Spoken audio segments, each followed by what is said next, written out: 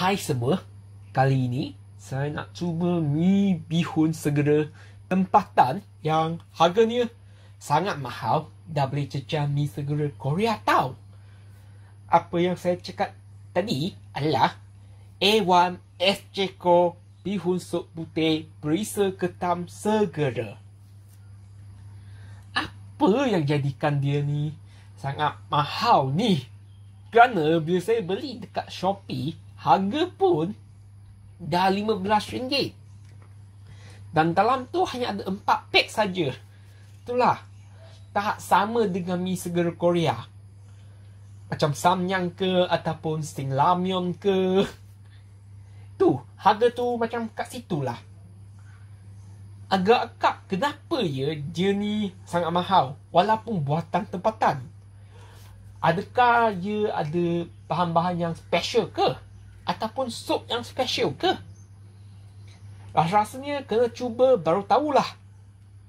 Sebelum saya bermula, jika anda belum subscribe channel saya, sila subscribe channel saya bagi video-video yang saya akan memuat naik dari semasa ke semasa. Jangan lupa untuk buka loceng tau. Jom mula untuk cuba bihun yang sangat mahal ni. Mari kita tengok apa yang ada di dalam bihun segera ini. Okey, saya akan bagi kamu tengok ya, ada logo halal. Ada cara untuk masak. Bihun ni sangat mahal ya dan macam mi segera Korea pula. Saya buka dulu. Pack ni senang juga nak buka ya. Dia ada tempat dia untuk nak buka kan. Dia tu ada semua benda yang ada di dalam satu tray ya. Senang juga nak keluarkan ya. Okey, dalam tu ada bihun bihun segera. Bihun ni kecil saja tau. Ada minyak dan juga pek sayuran. Minyak dan pek sayuran. Pek perencak. Eh, besar gila tau yang ni. Macam ada 20 gram pula. Nanti saya akan buka dalam bau rasa dia ada be ada bawang goreng, bawang putih goreng yang sudah dikeringkan. Agak banyak juga tau.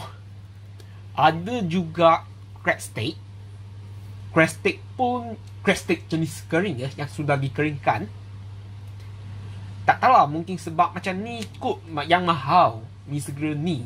Bihun segera mak. Mari kita tengok apa yang ada di dalam seasoning tu ataupun perenca tu besar juga. Hmm. Eh, putih gila tapi normal lah sebab ni kan bihun segera, sup putih, bihun perisa ketam. Ada bau seafood yang agak kuat tau. Jika bau lah saya rasa ni mesti sedap punya sebab harganya memang mahal. Jika tak sedap memanglah kena marah lah. Memang kena marah bihun ini juga. Saya dah sediakan air panas tadi ya. Sebanyak 500ml. Dan masak bihun selama 3 minit ya. Tapi sebelum masak bihun, kenalah masuk beberapa bahan dulu. Termasuklah bawang putih goreng, crispy kering, pek sayuran dan juga bihun. Saya masukkan semua dulu ya. Bagi saya buka pek sayur.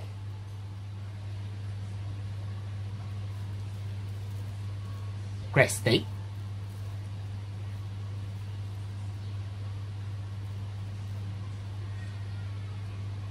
Bawang putih goreng yang sudah dikeringkan. Masukkan semua. Hmm, ada bau bawang goreng, bawang putih goreng lah. Bawang putih, bukan bawang putih goreng pula. Masukkan bihun. Jangan lupa untuk kacaukan. Jika nak bihun yang keras sikit kan, mungkin anda boleh masak tak lama sangat lah. Iaitu 2 minit setengah kot.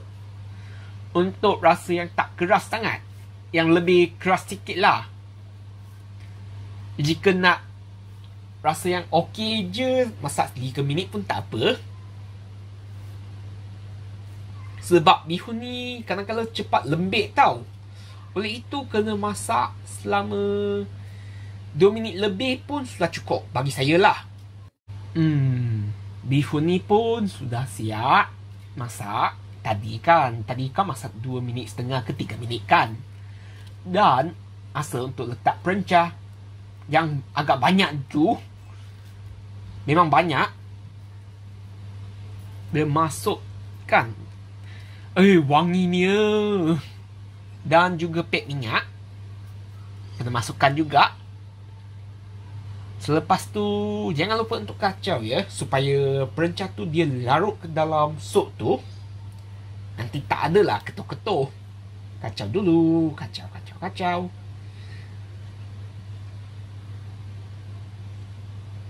Bihun sup perisa ketam pun dah siap.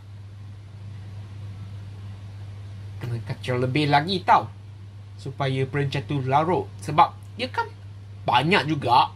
Bihun tu pun sedikit saja. Dah siap masak. Dah siap. Saya cuba dulu sup dia tu agak putih ya seperti yang ditunjuk di atas spek hmm.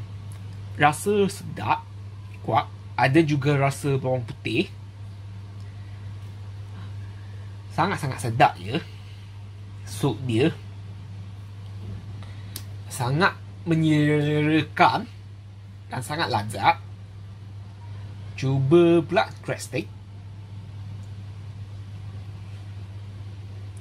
tekstur crab stick dia pun cukup ya rasa sup ni memang cukup memang sesuai untuk selera saya dan sangat lazat ada rasa seafood sedikit lah.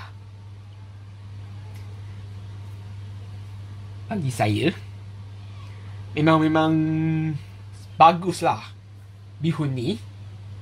Itulah sebab harga dia mahal sampai macam ni segera jenis Korea pula. Nak makan bihun pula.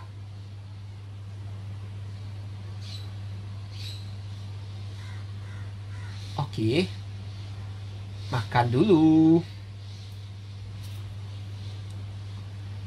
Bihun tu tak lebih sangat. Bolehlah makan. Tapi jika nak keras sikit tu memang masak jangan lama sangat lah. Memang sesuai bagi selera orang sakit ataupun selera saya. Sangat sedap. Jika nak saya beli lagi, walaupun harga dia dan hampir RM4, RM5, saya pun akan beli juga. Sebab mi segera ni memang sedap tau bihun segera lah yang paling sedap saya makan. Salah satu lah. Sebab ada juga yang lebih sedap daripada ni. Tapi ni pun sangat sedap. Jika nak cakap dengan harga dia ni memanglah. Memang dia patut pun jual dengan harga yang macam ni lah. Agak mahal juga iaitu RM4 lebih. Jika anda nak cuba boleh beli dekat online ya sebab bihun ni sangat sedap. Ini saja dalam video ini. Jika anda suka video ini, boleh kongsikan video ini kepada rakan-rakan anda, keluarga anda supaya mereka boleh nampak. Dan jangan lupa untuk subscribe channel saya bagi video-video yang saya akan memuat naik dari semasa ke semasa. Biasanya pada hari Selasa pukul 7 malam. Jangan lupa untuk buka lonceng tau. Jika hari lain saya rajin, saya mungkin akan letak video lagi. Okey, jumpa lagi di video yang seterusnya.